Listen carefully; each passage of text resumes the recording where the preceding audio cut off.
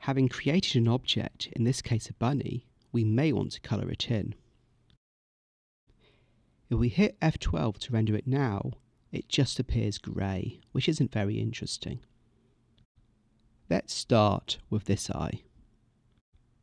After right clicking to select the eye, I move to the materials pane by clicking on this icon here.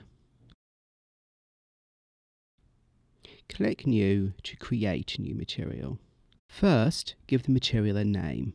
This will help us to identify the material later when we want to apply it to other parts of the bunny, such as the other eye.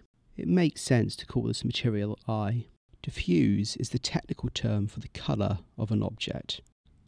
If we click on the white box, a colour selector will appear. There are two parts to the colour selector. The circle in which I can select the colour and the bar in which I can select the brightness. We want the eye to be black, so we drag the brightness all the way to the bottom. Now let's create another material, this time for a foot. Right click to select the foot, then click New. Rename the material, this time to Foot, and click on the Diffuse Colour selector. Let's go for brown, which is effectively dark orange. So first set the colour to orange, and then lower the brightness until it appears brown. We now have a bunny with a dark eye and a brown foot.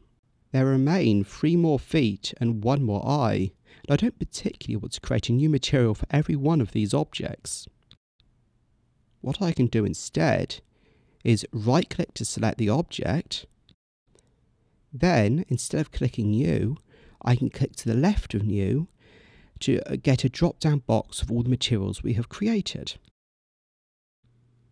I can now select the eye material, which means that the second eye looks the same as the first. Let's do the feet.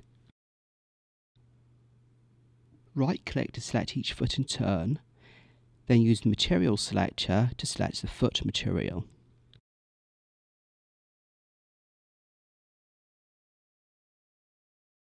Now we have a bunny with four brown feet and two dark eyes. Finally, let's do the body.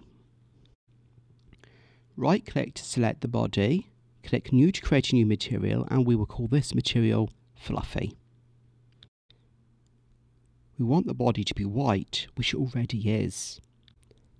But we can make it even whiter still by increasing the brightness. Then we right click to select each part of the body in turn and select the fluffy material.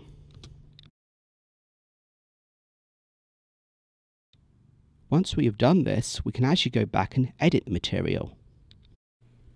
Let's say I want a pink rabbit. I can click on the diffuse colour and then use the selector to make it pink. This changes the colour of all objects with this material. As you can see, I forgot the tail. Let's fix this.